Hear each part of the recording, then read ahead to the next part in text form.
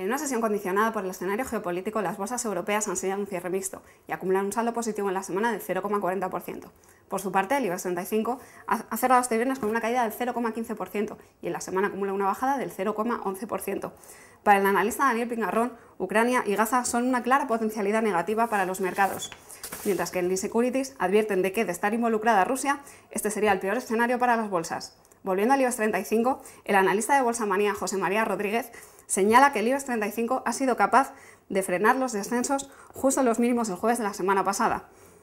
En la medida en que no se perforen los 10.420 puntos, advierte, la posibilidad de continuar rebotando en los próximos días sigue ahí.